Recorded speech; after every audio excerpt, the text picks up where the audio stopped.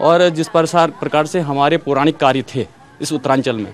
अब ये जिस मोहल्ले में हम लोग खड़े हैं, ये टमटा मोहल्ला है।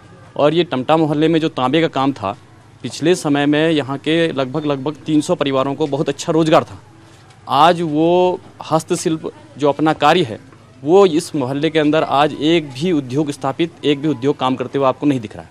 ये यहाँ की सरकार इसके लिए पूर्णतः जिम्मेदार जो हमारे पे पैतृक काम था जिस काम को हम बचपन से करते हुए आए हैं करते हुए आए हैं दो काम मतलब हमारा आज चौपट हो गया है बिल्कुल उजाड़ हो गया है। और हमारे जो भाई लोग थे बुढ़े बड्डे हैं जो भी हैं वो बिल्कुल बेरोजगार हो गए हैं।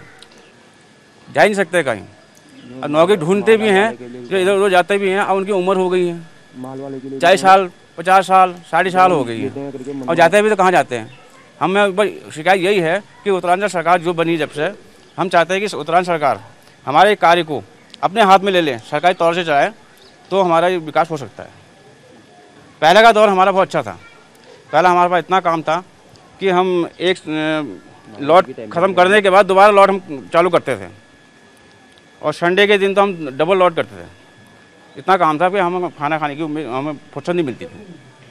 हम लोग इतने परेशान हैं कि हम भूखे रह रह रहे हैं अभी समझ लो। भूखे हैं बिल्कुल ही।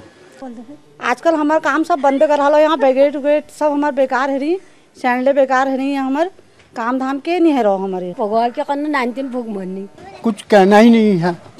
इस बहुत ऐसी हालत है बहुत ख़राब हालत है। मोहल्ले की पूरी हालत ख़राब है। इतनी डिम हालत है कि घर में रोटी रोटी के लिए मोहताज हैं भाई। जिस किसी घर में जाओ बिरानी मिली।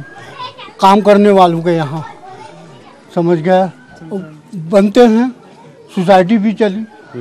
हमारे हाथ गंदे के गंदे रह गए जो कुछ भी गलत है।